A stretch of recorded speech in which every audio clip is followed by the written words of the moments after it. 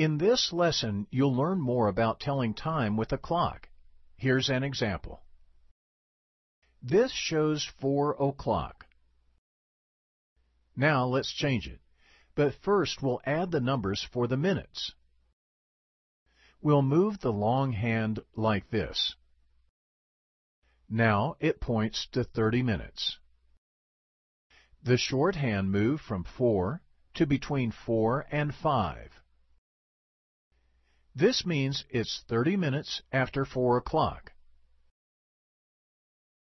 We write this like this. We enter 4 for the hour, then the two dots.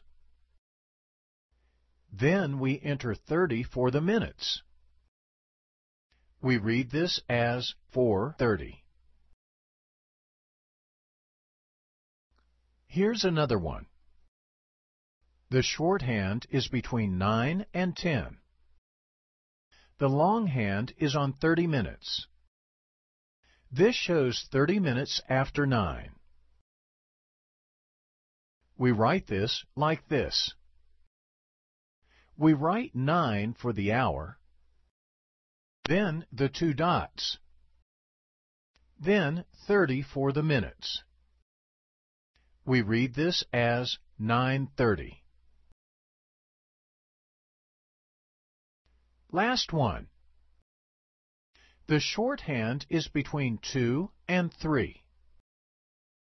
The longhand is on 30 minutes. This shows 30 minutes after 2.